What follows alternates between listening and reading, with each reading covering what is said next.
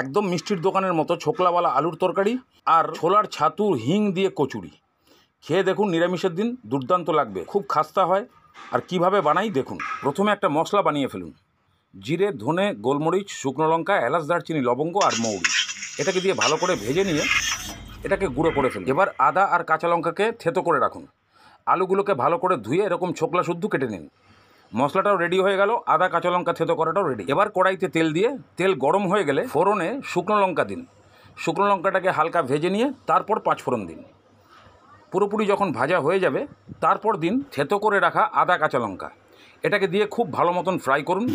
দু তিন মিনিট মতন ফ্রাই করার পর, ছোকলা শুদ্ধ কেটে রাখা আলুগুলোকে দিন। নাড়িয়ে চাড়িয়ে ভালো করে আদা, কাঁচা লঙ্কার সঙ্গে মিক্স করুন।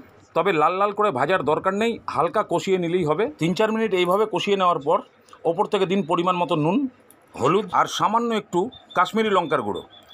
এটা খালি কালারকে মেনটেন করার জন্য, কেননা লঙ্কাটা যথেষ্ট পরিমাণ দেওয়া হয়েছে, কাঁচা লঙ্কা প্লাস মশলার মধ্যেও শুকনো লঙ্কা আছে। এবার এটাকে নাড়িয়ে চাড়িয়ে দু তিন মিনিট মতন ভালো করে কষিয়ে নিন। অল্প অল্প করে জল দিন, এতে মশলা পুড়ে যাওয়ার ভয় থাকবে না। তারপরে ভালো করে কষাতে থাকুন। এক দেড় মিনিট এইভাবে কষিয়ে নিয়ে ওপর থেকে সামান্য একটু চিনি দিন। মিষ্টির দোকানে মিষ্টির রস ব্যবহার করা হয়।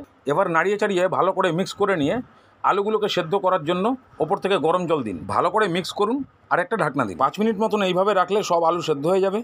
তারপর সেখান থেকে সামান্য একটু আলু তুলে নিয়ে সেটাকে ভালো করে ম্যাশ করে তারপরে গ্রেভির মধ্যে দিয়ে দিন। এরপর ভালো করে মিশিয়ে নিন।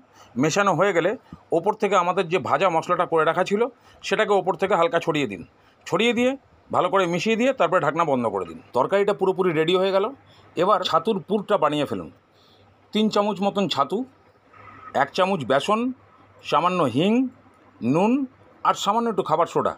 এটাকে দিয়ে ভালো করে মাখিয়ে নিয়ে সামান্য জল দিয়ে মেখে একটা ডো তৈরি করে ফেলুন। ছাতুর পুর তৈরি হয়ে গেল। এবার ময়দা মাখার পালা। পাঁচশো গ্রাম ময়দা, জোয়ান, হাত দিয়ে একটু ক্র্যাশ করে দিন। নুন, চিনি ভালো করে মিশিয়ে নিয়ে তারপর রিফাইন তেল দিন। আরেকবার ভালো করে মেশান। ময়দা যখন এই প্যাটার্নের হবে, তখন বুঝতে হবে ময়মটা ঠিক আছে।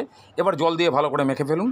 আমরা সচরাচর লুচি বেলার জন্য যেরকম ডো তৈরি করি, সেরকম টাইপের একটা ডো তৈরি করে ফেলুন। লেচি কাটুন, পুর ভরুন, ভালো করে সিল করে দিন মুখটাকে। ময়দার মধ্যে এপিটুপিট ভালো করে লাগিয়ে দিন। এবার বেলুন আর গরম তেলে ছাড়ুন। উল্টে পাল্টে ভালো করে ভেজে নিন, বাস ভেজে তুলে নিন। নিরামিষের দিন একবার এইভাবে বানিয়ে খেয়ে দেখুন, খুব ভালো লাগবে। আর বিশেষ করে আলুর ছোকলা দেওয়া তরকারি, এটা বড় বড় মিষ্টির দোকানেই আমি দেখেছি, অনেক পুরনো মিষ্টির দোকানে এগুলো পাওয়া যায়। আর খুবই খুবই সুন্দর টেস্ট হয়। একবার বাড়িতে এইভাবে বানিয়ে খেয়ে দেখো সেম টু সেম মিষ্টির দোকানের কচুরির টেস্ট পাবে যাই হোক রেসিপিটা যদি আপনাদের সামান্য একটু উপকারে আসে, তাহলে চ্যানেলটাকে সাবস্ক্রাইব করে পাশে থাকার অনুরোধ করছি। ঠিক আছে, দেখা হচ্ছে আবার নেক্সট কোনো ভিডিওতে নমস্কার।